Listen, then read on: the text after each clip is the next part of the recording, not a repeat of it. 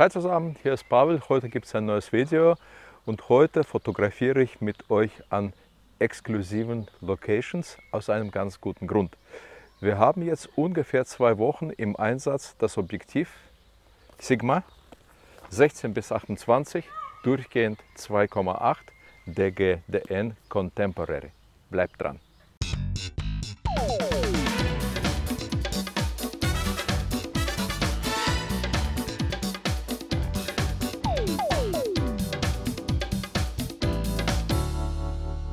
Heute ist der Tag, an dem dieses Objektiv vorgestellt wurde, offiziell. Und Sigma hat uns das Objektiv schon vorher zugeschickt, damit wir es testen können. Und klar, für mich ist das immer ein neues Spielzeug, sehr interessant, neues Objektiv zu testen, neues Objektiv in verschiedenen Situationen auszuprobieren. Und das haben wir jetzt natürlich mit Freude getan. Danke an Sigma an dieser Stelle für die Zusendung des Objektivs. Das Objektiv ist das hier. Ja, das Objektiv. Also ihr wisst ja, was Objektiv ist, ja, aber das ist hier dieses kleine Teil auf meiner Sony Alpha 7C und klein, das ist natürlich ganz wichtig. Mir hat zum Beispiel 1424 2,8, das hier ist 1628 2,8. Klar, hätten wir jetzt 1424, hätten wir wahrscheinlich ein bisschen größere Maße, ein bisschen schwereres Glas, aber dieses Objektiv ist in erster Linie an Reise- und an Streetfotografen gerichtet, die leicht unterwegs sein möchten. Ich habe schon gesagt, also hier haben wir 2,8 durchgehend Lichtstärke, das ist natürlich sehr gut. Und für mich ist dieser Brennweitenbereich ein bisschen ungewöhnlich.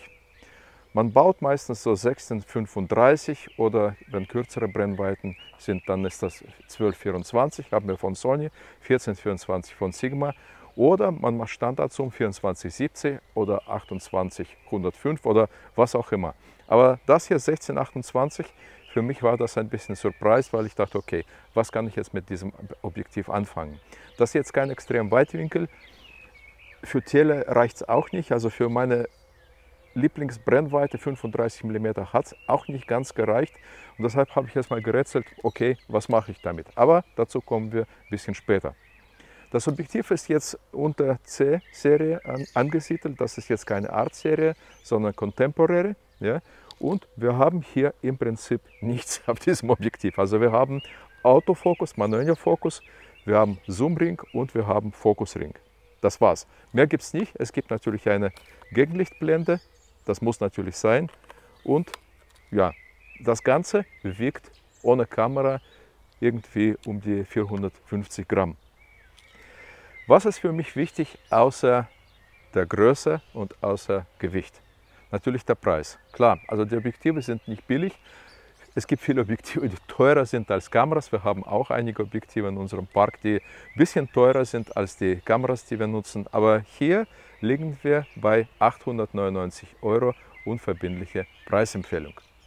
Ja, also kleines Objektiv, leichtes Objektiv, unter 1000 Euro angesiedelt und Brennweitenbereich, okay, also wir können keine spektakuläre Aufnahmen damit machen, wie zum Beispiel mit 12 mm, aber 16 bis 28 ist sehr gut geeignet für Stadtfotografie und in der Stadt haben wir natürlich auch fotografiert.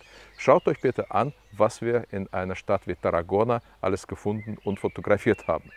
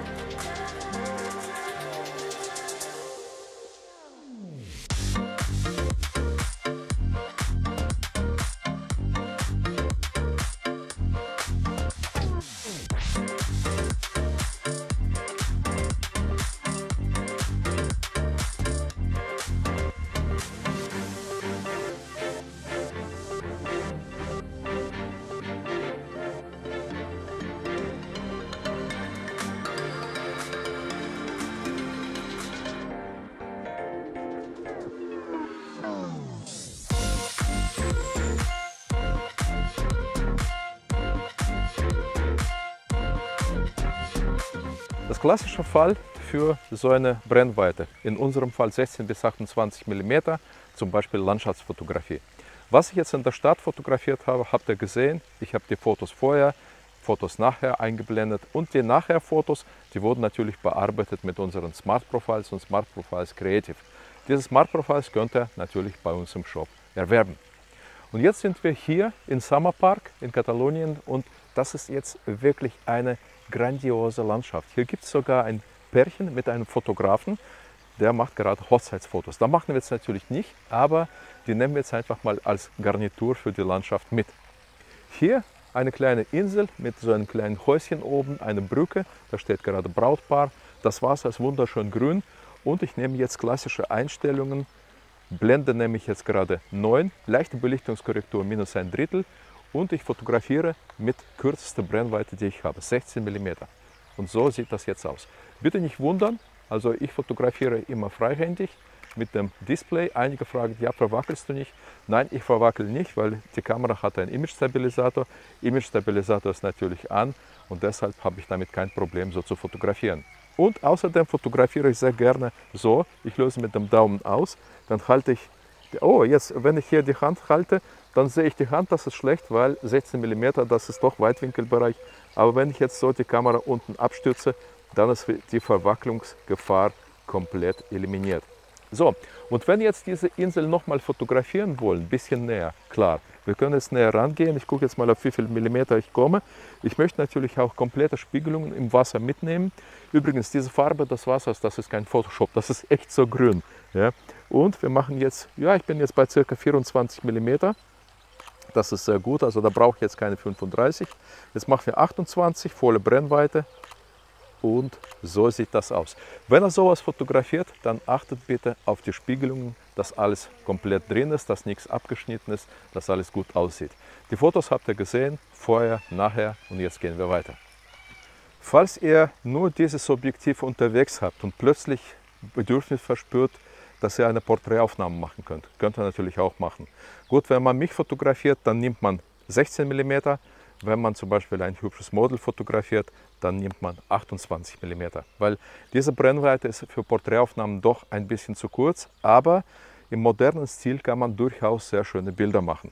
Schaut euch bitte an, wie wir Porträtaufnahmen in der Stadt fotografiert haben. Diese Aufnahmen wurden übrigens gemacht bei knalliger Sonne. Die Sonne war schon fast unter, aber es war trotzdem sehr hartes Licht und trotzdem hat das Objektiv sehr gute Dienste geleistet. Klar, wir bearbeiten unsere Fotos natürlich, die extreme glänzende Stellen bearbeiten wir, zum Beispiel mit unseren Porträtpresets, also das kann man natürlich auch machen und man kann diese Glanzstellen reduzieren. Aber ansonsten 28 mm lacht nicht, man kann 28 mm tatsächlich für Porträt benutzen und die Porträts sehen sehr gut aus. Schaut bitte.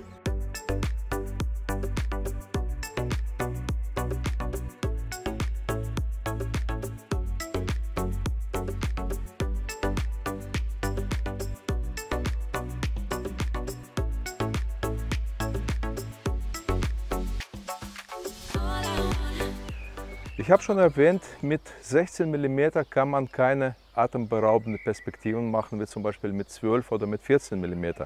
Klar, der Unterschied 4 mm, das ist im Weitwinkelbereich sehr viel. Aber trotzdem, ich mache jetzt eine Aufnahme, wo wir tatsächlich eine Perspektive bekommen, wo man denkt, diese Perspektive ist mit kürzerer Brennweite entstanden. Ich stehe jetzt hier auf einer Brücke hier vor mir ist eine Palme oder was auch immer, ein Baum. Ja, das kann man natürlich mit verschiedenen Pflanzen machen. Und ich mache jetzt eine Aufnahme. Die Wasserfläche endet in einem Drittel. Das ist so klassisch. Jetzt habe ich aus Versehen ausgelöst. Ja, wollte ich nicht. Aber jetzt schaut mal. Also die Palme setze ich in den rechten Drittel. Also die ist oben nicht ganz an der Bildkante. Das ist ganz wichtig. Wenn er fotografiert, versucht bitte die Objekte, die ihr im Bild habt, nicht an die Bildkante ranzuschieben, weil sonst hat dieses Objekt keine Luft zum Atmen. Ja. Ich fotografiere jetzt so, dass ich tatsächlich alles drin habe, was ich möchte. Diese Brücke hat eine sehr schöne Struktur, das seht ihr, und das Wasser, die Wasseroberfläche ist einfach fantastisch. Und diese Kombination Die finde ich super genial und man kann hier tatsächlich denken, dass es eine viel kürzere Brennweite ist, als es tatsächlich ist. Ja? Also 16 mm sieht kürzer aus, als es ist. Eine Frage, kann man mit dieser Brennweite auch Tierfotografie machen? Ja, man kann, wenn die Tiere ruhig sind und wenn man nah genug rankommt. Ja? Ich habe jetzt eine Ente, die ist schon ein bisschen skeptisch, aber ich mache trotzdem jetzt ein Foto. Und jetzt sind auch die Kinder da, die werden sie wahrscheinlich verscheuchen. Aber das macht nichts. Und die anderen Enten kommen auch schon. Super, Truman Show, ja. Kaum versucht man ein Foto zu machen, kommen die fünfeinhalb Leute, die im Park sind und versuchen, in das Bild reinzukommen. Aber das macht nichts, wir sind da absolut schmerzfrei. Ich habe jetzt hier Blende 5,6 genommen, das hat wunderbar funktioniert. Und was wir jetzt machen, ich beweise euch, dass man mit diesem Objektiv auch Tiere fotografieren kann. Wir gehen jetzt zu stinknormalen Hühnern.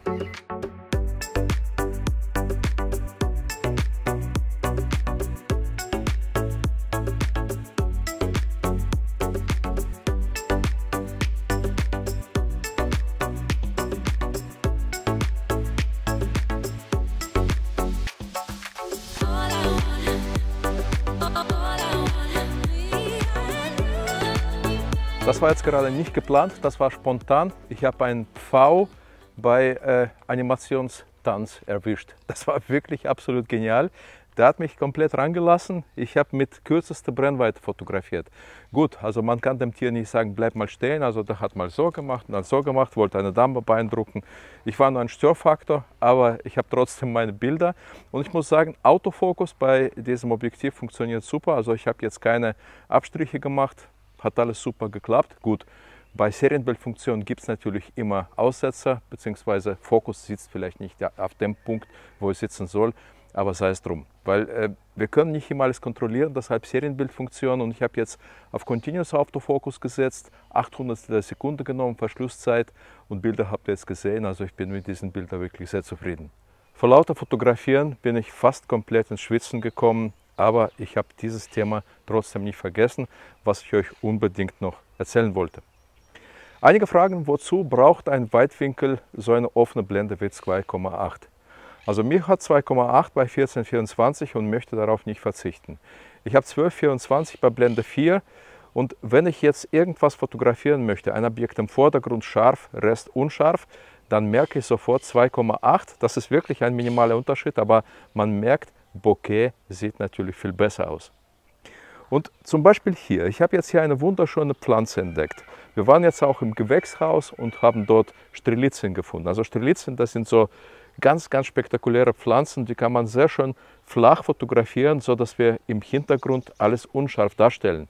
Und jetzt speziell im äh, Gewächshaus, da gibt es vielleicht irgendwelche Störfaktoren, vielleicht ein Rohr oder ein Zaun oder ein Fenstergitter und so weiter. Und das kann man natürlich wunderbar mit Bokeh ausblenden. Wir fokussieren auf die Pflanze, nehmen Blende 2,8, Rest verschwindet im Bokeh. Und wir haben bei diesem Objektiv eine Einstellungsgrenze, ja, ja, ich habe dich schon fotografiert. wir haben bei diesem Objektiv die Einstellungsgrenze 25 cm, deshalb klappt das wahrscheinlich sehr gut, auch in diesem Fall. So, jetzt versuche ich mal, also ich fotografiere jetzt so, dass ich nicht den äh, ausgebrannten Himmel nehme, ich fokussiere auf die Pflanze Zack, und was ich sehe, es sieht richtig gut aus. Die Pflanze ist absolut scharf, Hintergrund ist im Bouquet verschwunden. Ich habe 28 mm Brennweite genommen und ja, also 2,8 bei Weitwinkel ist durchaus berechtigt. Das war's. Ich habe euch heute wirklich das ganze Programm geliefert. Micho hat fleißig gefilmt, jetzt kriegt er Muskelkater, aber ich belohne ihn mit einem Bier oder mit anderem leckeren Getränk. Und ich habe euch das Objektiv vorgestellt, 1628 durchgehend 2,8 Contemporary Serie auf Sony Alpha 7C. Ihr könnt euch selbst ein Urteil bilden.